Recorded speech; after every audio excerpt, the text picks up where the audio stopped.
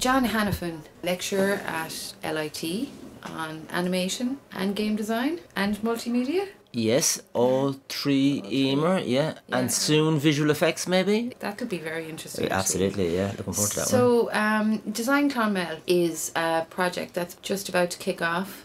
Um, it's very much specifically aimed at younger people and people who might be interested in this area as a career choice. Yeah, Generation Z is who it's aimed at. Yeah, and I guess that's a consequence of where Design Clonmel ha- how it's come about this year.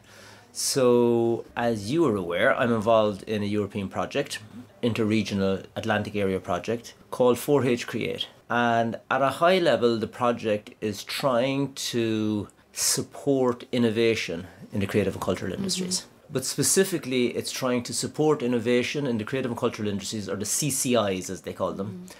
By engaging with Generation Z. Okay, define Generation Z for anybody. Yeah, so. Generation Z are, you know, 14 to 24 year olds. And it depends sort of what literature you read, but they're typically around that age, 14 to. So teenagers and, and, and a bit beyond. Uh, so they, they follow on from Generation Y. Who are often called the millennials, uh, which follows on from Generation X, which is probably I don't know. We, do we even make Generation X? We probably make Generation X. Maybe I do. So yeah, so so Gen Zs, Gen Zers are sort of teenagers and young adults, I, I guess you'd, you'd say.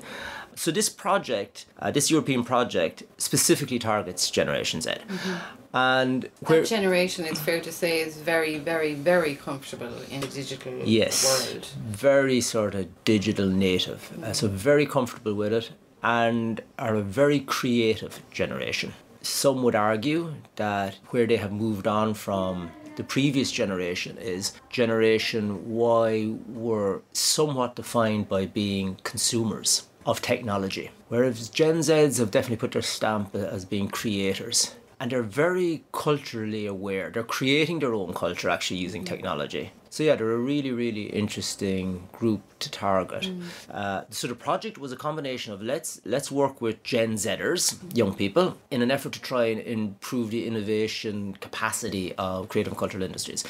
And Europe very much advocates what's known as a quadruple helix approach to innovation. And it's, it's sort of a big bureaucratic term, but really what it means is if you want to sort of stimulate innovation in a region, you want sort of the local government coming together with third level education, industry, and the general public. So very collaborative. A very col- that's it. Which that's makes it. sense. Makes absolute sense. The, project is very much about sort of you know creating innovative capacity through a very collaborative process. Mm-hmm. Yeah, and it's what what I find actually interesting is. Europe would advocate the coming together of sort of what they call local government, which would be sort of for us the county council, Yeah.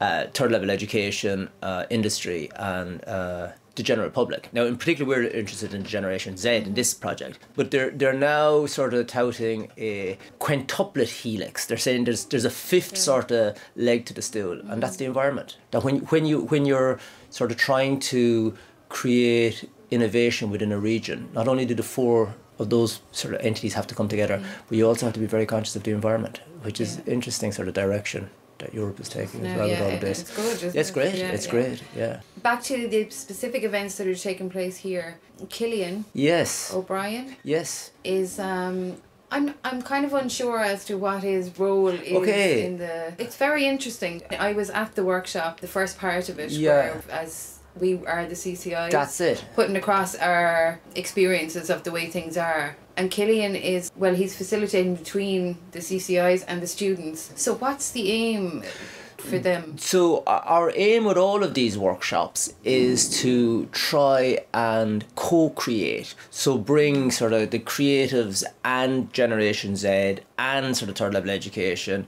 and get them to co-create collectively. Mm. So in, in the one you're referring to, the idea was and still is, I hope, uh, mm-hmm. that Killian goes and talks to the creative and cultural industries, the local the local CCIs. Mm-hmm.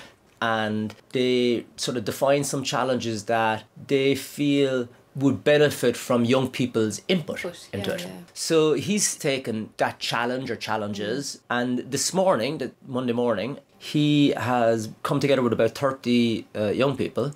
And he's presented those challenges to them, and he's workshopping them through a, a sort of a, what they call a design thinking process, So it's very collaborative, very end user driven. And the Gen Zers are trying to come up with solutions to the challenges that the, the local CCIs it's definitely not technology focused. Right. It's certainly not. Now, if if sort of an app falls out of it, well and good, an app Yeah, falls out yeah, of it. yeah. But it's not, you know. So the solutions uh, don't have to be based in technology. Oh, No, not at all. It's not at all. Not at all. of not at be all. very interesting to hear their opinions come back because Yeah. it's not something you would have a chance to collect very often. Exactly. Yeah, hopefully they'll come up with some interesting ideas. Mm. Hopefully it- it'll be of use. And then hopefully my, my hope really is that this collaborative exercise I have to try still try to figure out how to sustain it in the long term, you know what I mean? Like beyond design Clonmel. Because it was really good of the local creatives to come together, Yeah. give up their time, you know, offer up some sort of challenges.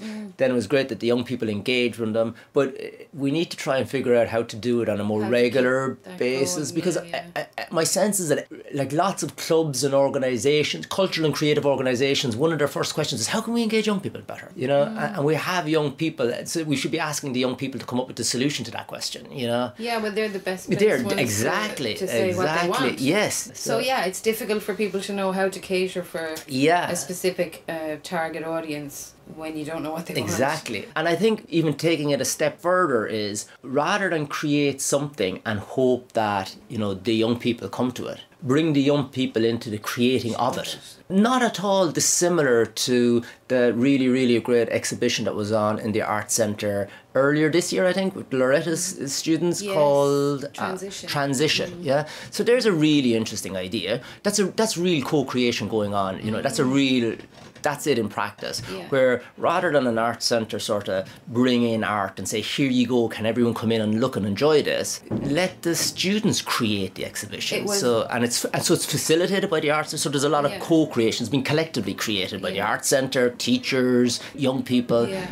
And that that's a super example of sort of Of co-creation working yeah really well. yeah It really did work well, Yeah. and they really got into it. Yes. And it was so encouraging to see. And there's, there's, there was another really interesting example with actually the presentation girls, the secondary school girls in the presentation, and they worked with the museum, creating a narrative around old artifacts. Okay. Um, and it was really, really interesting experience. And they exhibited it uh, in the museum then after afterwards as well. So that's the type of stuff. Yeah, I don't know what the solution to that is. It'll be very, very interesting to see what comes out of Killian and the co-creation. Yeah, I guess going in with an open mind is the, is the trick. A- Anything could come out of it. Uh, you know, anything could come out of it. And then to follow on on that sort of co-creation theme and inviting young people in to create with you, we, I, I guess because of what we do in LIT Clonmel, but we also have animators and, and game artists. Um, so we've invited down an award-winning animation studio Paper Panther, and they're running a sort of co-creation workshop with our students and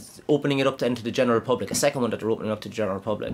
And again, the idea is they're coming down with some briefs that they've actually received from industry uh, because they would create um, adverts, uh, use ad- animation to create adverts, TV adverts, for example.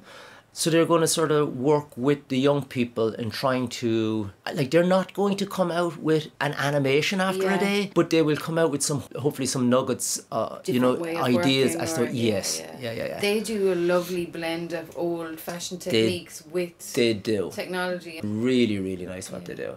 So, thankfully, through the, the European project that I'm involved in, I was able to sort of bring in these people and open them up to the general public as well, which is great. The community outside of the college sort of benefits from it. So, they're running a workshop on this Thursday, but next week, then during sort of the Halloween break when school students are off, um, we've got a workshop and it's we're targeting sort of the leaving cert cycle students, the older the older students. So that should be really interesting. And then one of the studio members from Paper Panther has kindly also agreed to do a talk here in the Arts Centre, which is also great, uh, getting out into the community. Um, then we have a game design workshop again all in the under the veil of co-creation. And so we have a, a really interesting game designer uh, board game designer uh, Robin O'Keefe is his name. And he's coming and working with our students on Thursday. And again he's in the process of making a game. Uh, he's made many. So he is looking to sort of co-create with the students around some ideas he already has for the games.